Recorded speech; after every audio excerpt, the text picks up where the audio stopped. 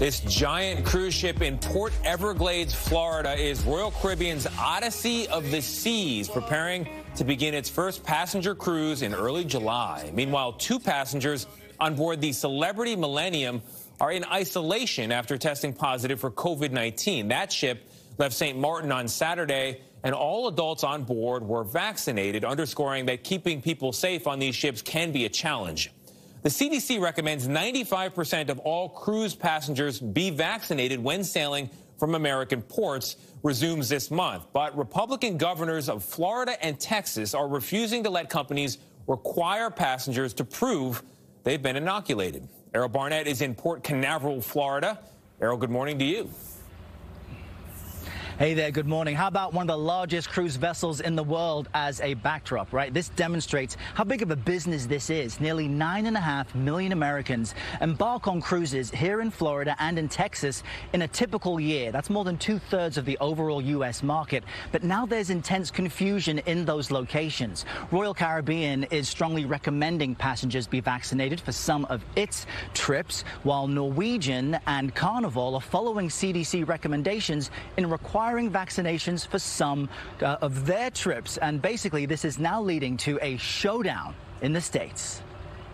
After 15 months of a CDC no sail order, cruise ships around the U.S. are poised to welcome back vacationers. Royal Caribbean Group CEO Richard Fain is eager to see Americans embark on one of his vessels from Port Everglades in two weeks. That's very exciting.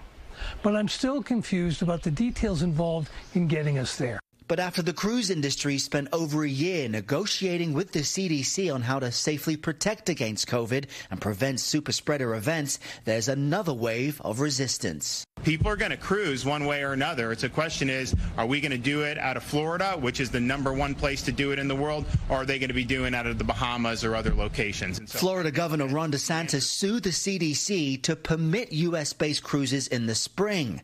Then last month, the Republicans signed an executive order prohibiting businesses from requiring vaccinations a key CDC recommendation for sailing.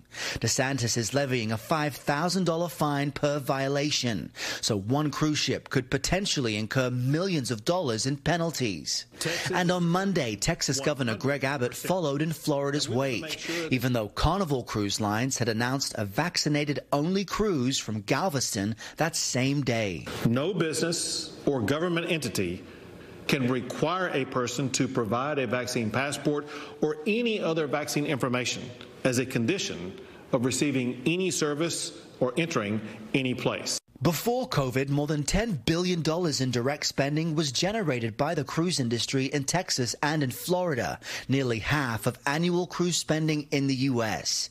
Cruise lines are eager to earn some of that back. What do you make of what cruise lines are trying to do to get back to business? They're sort of between a rock and a hard place. Attorney Michael Winkleman represents cruise passengers and staff in legal disputes. Neither of these governors are members of the CDC. Neither of them operate a cruise line. I think they essentially need to keep out of this and let the CDC and the cruise lines continue to work together so that people can get back to cruising safely. It's a sentiment shared by most prospective cruise passengers. Roughly 60% prefer mandatory vaccines, according to a recent recent Harris poll. Only 23% prefer they not be mandatory.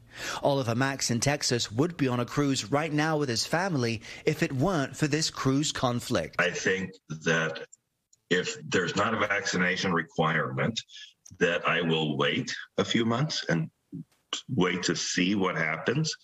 Uh, I, I, believe in the cruise industry to take care of people. CBS News travel advisor Peter Greenberg says cruise lines can decide to move their business elsewhere. We have 17 ports in the United States where cruise ships are operating before the pandemic.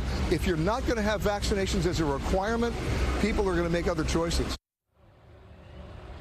It is just unclear where all of this goes from here, but it was just announced yesterday by Carnival that the vessel you see behind me, the Mardi Gras, which is their biggest, will set sail on her maiden voyage July 31st, and everyone on board will be vaccinated. Anthony? Errol, thank you. I'm with that man who said, you know, I would wait if if uh, if I didn't know that all the other passengers were being vaccinated. I would wait as well. I know it's a personal decision. We all decided to get it, but the people that don't get it, I just think you put others in jeopardy.